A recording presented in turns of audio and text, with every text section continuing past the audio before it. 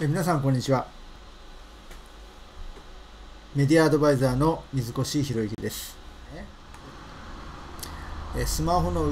動かし方に注意、まあ、これ本当に基本的なことですけども、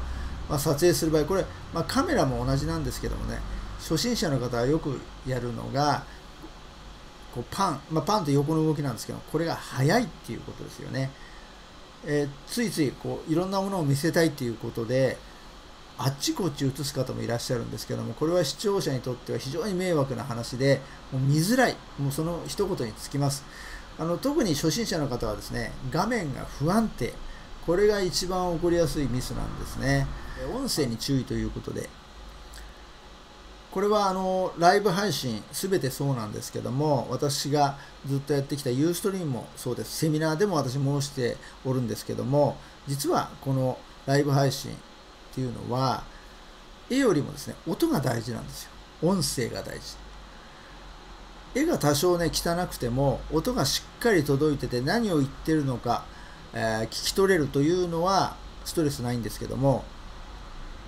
絵が綺麗でも音が途切れ途切れまたはすごく小さくて聞き取りにくいというのはものすごいストレスになるんですね。視聴者にとっては。ということで、まあ、どちらかというとですねテレビよりもラジオに近いんですねこういうライブ配信っていうのは。ですので音声をきっちり届けるような意識を持っていただきたいということです。えー、コメントはできるだけ拾って読み上げる。これはあのライブをやる上でとても重要なことなんですね、えー、コメントしてくれた方のコメントを読み上げる読み上げることで、えー、リアリリアルタイムコミュニケーションが取れるということなんですでこれを取ることによってどうなるかというと視聴者と配信側の距離がぐっと縮まるということなんですね。えー、もし興味があったらこちらに問い合わせてください。えー、ここから LINE アット申し込めますって言って QR コードをこうかざすとかですね、えー、例えばとはいえそのリンクを後からコメント欄に残しておくとかですね、まあ、こういったことが必要になってきます他の人は今ライブを配信しても誰も見れませんということでライブ配信を開始したいと思います